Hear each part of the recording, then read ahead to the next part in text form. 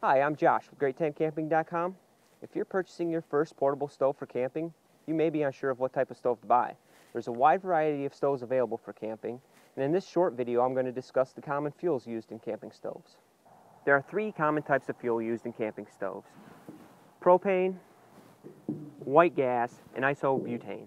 Isobutane is primarily used for smaller one-burner stoves for backpacking. I'm going to focus more on the types of stoves that would be used for car camping.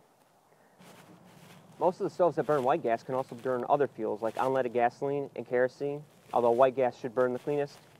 This is one of their biggest advantages. It may be important to you if you're planning to travel outside of the U.S. where fuel supplies will be limited.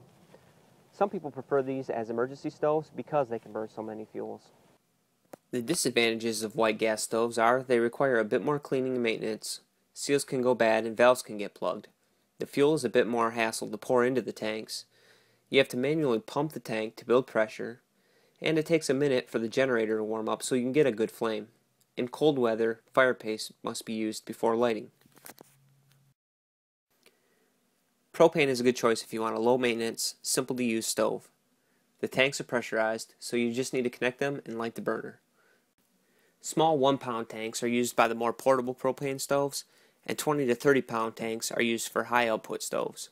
Here in the US, the 1 pound tanks are available at almost any store that sells sporting goods. The biggest inconvenience is trying to recycle the empty containers. I prefer the two burner stoves like this, but my cooking is pretty simple and it's usually for 2 to 4 people. Both fuels have been proven to work for years. I'd say it's kind of a choice between versatility and convenience.